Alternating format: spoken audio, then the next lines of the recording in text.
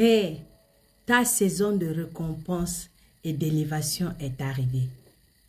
La saison dans laquelle Dieu va te récompenser et t'élever est arrivée. Si jusqu'à présent tu n'es pas encore abonné, s'il te plaît, abonne-toi pour qu'on puisse grandir et se fortifier ensemble.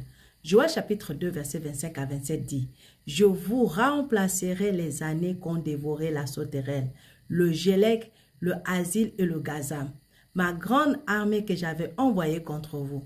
Vous mangerez et vous serez rassasiés, et vous célébrerez le nom de l'Éternel votre Dieu, qui aura fait pour vous des prodiges, et mon peuple ne sera plus jamais dans la confusion.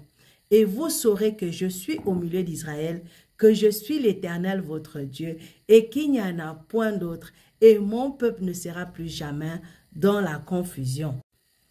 Alors, ma soeur, mon frère, si en ce moment, tu es rejeté, tu es humilié, je veux que tu saches, tu es dans le regret, tu es dans la peur, tu es dans la confusion, parce que tu as l'impression d'avoir tout perdu.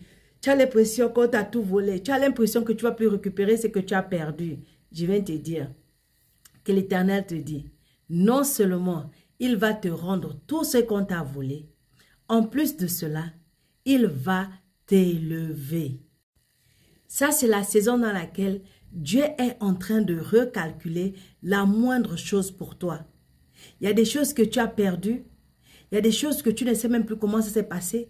Tu n'arrives même pas à comprendre que tu, comment tu as pu perdre cette chose-là. Comment tu en es arrivé là. Je viens te rassurer que Dieu est en train de tout recalculer pour toi. Ce qu'on t'a pris, ce qu'on t'a volé, ce qu'on t'a arraché, Dieu est en train de arranger les choses pour toi.